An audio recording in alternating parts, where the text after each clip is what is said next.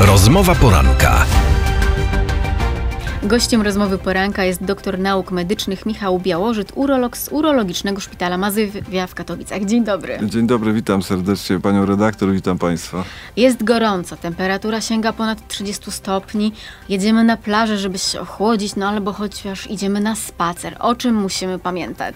No przede wszystkim y, pogoda y, może zwiększać ryzyko dla nas odwodnienia organizmu. I tutaj niestety odwodnienie jest takim y, stanem, w którym ilość dostarczanego płynu do organizmu jest mniejsza niż zapotrzebowanie organizmu na podstawowe procesy życiowe, więc musimy pamiętać na pewno o uzupełnianiu płynów, musimy pamiętać o spożywaniu y, warzyw, owoców bogatych w y, wodę i o to, żeby organizm prawidłowo funkcjonował, ta woda musi być dostarczana. Pamiętajmy o tym, że organizm w większości składa się z wody, u osób dorosłych jest to około y, 50-60%, u, u małych dzieci, u noworodków nawet 70-75%, y, u osób starszych ten odsetek się zmniejsza, jest bodajże na poziomie 45-50%.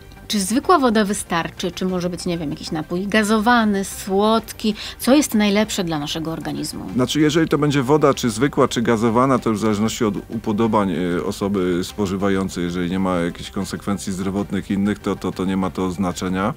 Natomiast y, napoje słodkie raczej generalnie odradzałbym. Jednak cukier nie wpływa dobrze na nasz organizm, a zwłaszcza przy tych temperaturach. A jest jakieś takie znaczenie, że jeżeli wybieramy czystą wodę, a na przykład z owocami, z miodem, z solą, robiąc taki napój izotoniczny, czy to lepiej nas e, nawodni? Zdecydowanie tak, gdyż to pozwoli też częściowo uzupełnić elektrolity i mikroelementy, które są niezbędne do funkcjonowania prawidłowego naszego organizmu. Mówi Pan o odwodnieniu, o tym, jak temu zapobiec. A jakie odwodnienie daje nam oznaki? Jak poznać, że coś się dzieje? Czy to jest tak, że jak nam się już chce pić, no to wtedy jest e, dobrze, czy jest za późno? Nie, no to myślę, że to jest taki jakby pierwszy sygnał i mamy do czynienia z tym odwodnieniem w, tej fazie łagodnej, prawda? Y, W tej drugiej fazie to już dochodzi do mm, osłabienia, do zawrotów głowy. No trzecia faza najbardziej niebezpieczna, no to to już są zaburzenia poznawcze. Generalnie trzeba zwracać też na y, mocz, na kolor moczu. Mocz gęsty, ciemny, brązowy nawet y, może świadczyć o tym, że tych ilość płynów dostarczanych do organizmu jest zbyt mała. No właśnie, zbyt mała ilość płynów. To co jest optymalne? Bo tak się mówi o tych mitycznych e, półtora litra, dwa litry. No czy to obowiązuje nas przez cały rok? Czy to jest to samo półtora litra w zimie, a teraz? Na pewno nie, na pewno jest to też osobniczo zmienne, prawda? No bo każdy organizm jest y, inny, in, inne będą normy dla osoby, która ma y, 100 kilo, a inne dla osoby, która ma y, 45-50, prawda? Więc o tym y, musimy pamiętać. Y, Musimy pamiętać o y, osobach obciążonych y, kardiologicznie, o tym, żeby nie dostarczać tej wody zbyt y, wiele. Jest tak, że generalnie mówi się właśnie o tej normie 1,5-2 litry i to być może tak z grubsza patrząc, być może byłoby optymalne, natomiast y, literaturowo aktualnie te wytyczne to mniej więcej 25 ml na kilogram masy ciała, także każdy może to dopasować do siebie, może to przeliczyć i, i korzystać. Jakie odwodnienie niesie skutki dla osób starszych, a jakie dla dzieci? Bo no, te grupy wiekowe pewnie są narażone najbardziej, tak jak już Pan wcześniej spotkał, e, powiedział. No jest tak, że y, no generalnie na, y, jeżeli chodzi o dzieci, prawda, no to mamy najmniejszy, najmniejszą być może kontrolę nad tym, ile dzieci spożywają tych płynów. Większość y, ciała dziecka składa się właśnie z, z wody, to odwodnienie może powodować osłabienie, może powodować mm, y, zaburzenia zachowania dziecka. Jest tak, że dodatkowo musimy pamiętać o tym, że stany u dziecka takie jak biegunka czy wymioty mogą również pogłębiać ten stan odwodnienia, o czym często zapominamy i, i orientujemy się troszeczkę zbyt późno, gdzie już konieczna jest hospitalizacja i uzupełnienie tych płynów A przez, osoby wyspecjaliz- wy, przez wyspecjalizowany zespół. Natomiast u osoby starszej, no to generalnie tak, osoby starsze niestety zdarza się, że zapominają o, o, Albo mówią, że nie chce mi się pić Nie chce mi się nie? pić, przecież ja piję i generalnie jak- jeżeli jest prośba z naszej strony, żeby mniej więcej określiła ilość tych płynów, bądź założyła tą kartę taką, y, ile y, płynów przyjęła, ile płynów wydaliła, no to wychodzi na to, że jednak tych płynów nie jest zbyt wiele i tutaj te konsekwencje mogą być różne. No najczęściej dochodzi do y, zaburzeń funkcjonowania y, różnych układów, układu krążenia, układu, y, układu y, wydalniczego w postaci nerek.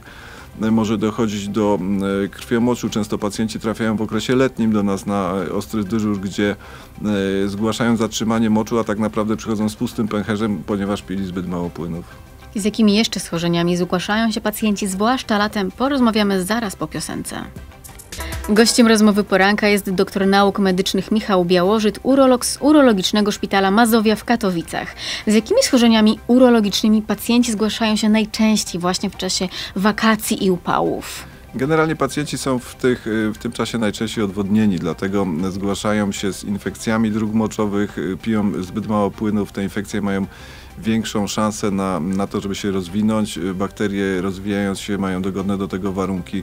Z drugiej strony również, y, jak już wspominałem wcześniej, z zatrzymaniem moczu, którego tak naprawdę nie jest zatrzymaniem moczu, tylko ten, ten organizm zużywa cały dostarczony płyn na procesy wewnątrzkomórkowe, na to, żeby normalnie funkcjonować. Tego moczu nie ma już zbyt wiele.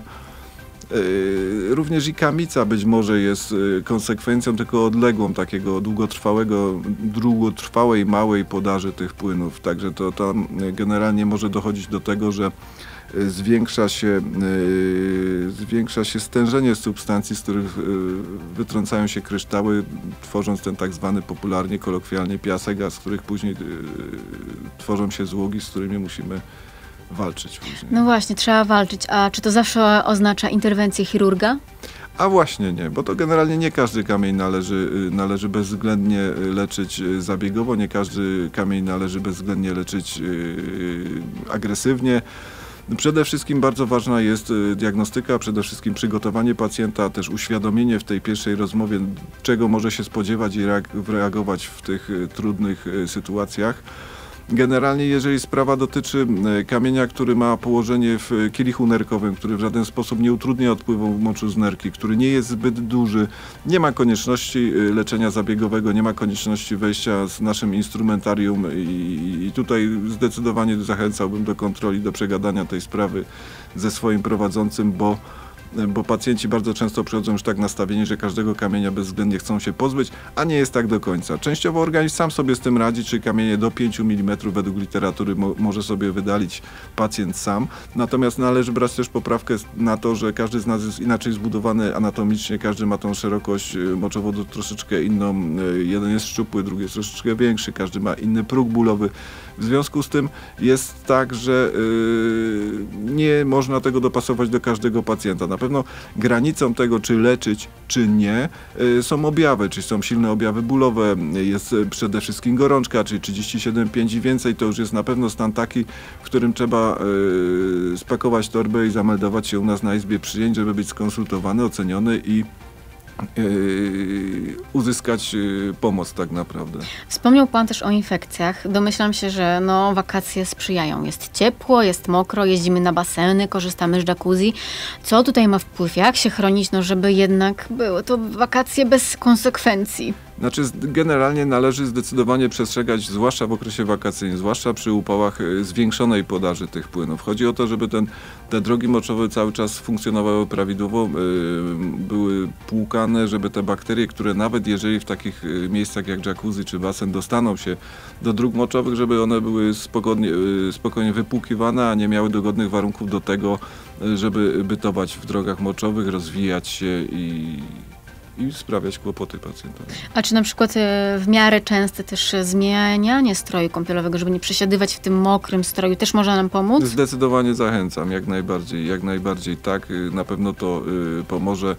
Y, trzeba wszystko oczywiście z rozsądkiem i no i, i, tak, tak, zdecydowanie jest zalecane. To jeżeli mówimy o rozsądku, to pewnie też można jakieś probiotyki po prostu, które nam pomogą, wzmocnią nasz układ odpornościowy. Tak, oczywiście, natomiast y, jakoś nie, nie, nie zachęcam do tego, żeby to było stała podaż, prawda? No generalnie takim można, jeżeli ktoś ma tendencję do infekcji, to jest zalecane, żeby sobie robił takie cykle, tam dajmy na to 10-14 dniowe podaży przerywane później 10-14 okresem przerwy. Natomiast niezależnie od tego sam probiotyk nie załatwi sprawy. Bardzo ważna jest y, podaż płynów. Gościem rozmowy poranka był doktor nauk medycznych Michał Białożyt, urolog z Urologicznego Szpitala Mazowia w Katowicach. Bardzo dziękuję. Dziękuję serdecznie.